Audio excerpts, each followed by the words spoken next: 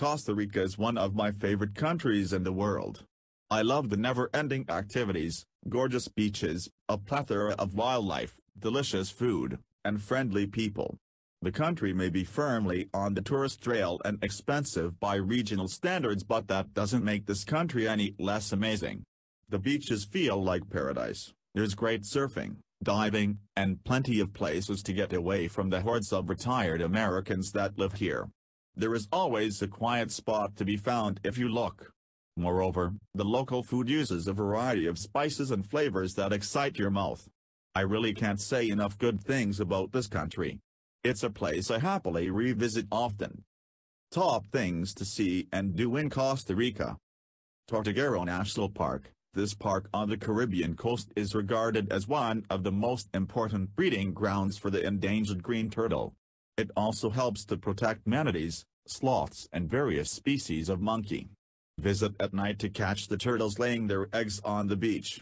It's very out of the way and hard to get to and there isn't much there but if you like jungles, birds, and quiet, this is a must-see. Coffee plantations, Costa Rican coffee is famous all over the world. By taking one of the coffee plantation tours you can see every step of the refining process and get the chance to buy discounted coffee in the gift shops. I hate the taste of coffee but the kind I had in Monteverde tasted like chocolate. I bought bags home to drink, it's that good. Prices vary but expect to pay at least 14,000 CRC for a tour. San Jose, Costa Rica's capital is located in the center of the country making it a great hub.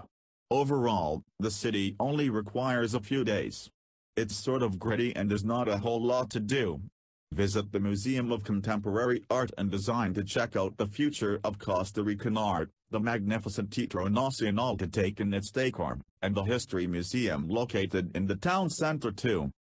Zip through the rainforest canopy. The highest 10% of a rainforest is where most activity takes place.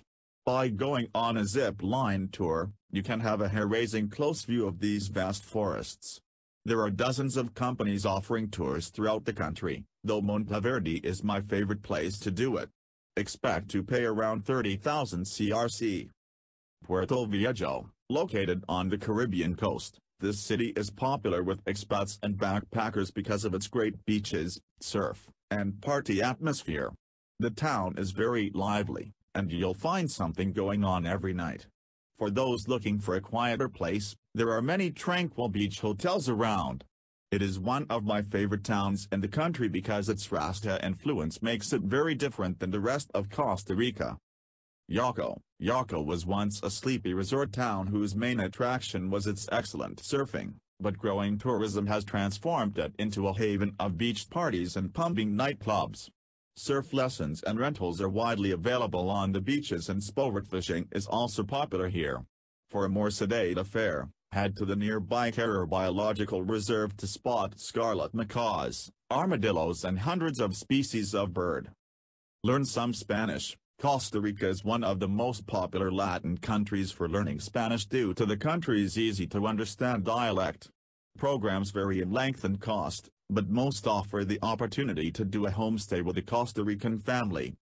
La Paz Waterfall Gardens Aside from the famous waterfalls, La Paz also includes an aviary, hummingbird garden, butterfly garden, reptiles, big cats and more. The gardens are the most popular tour from San Jose have recently been restored,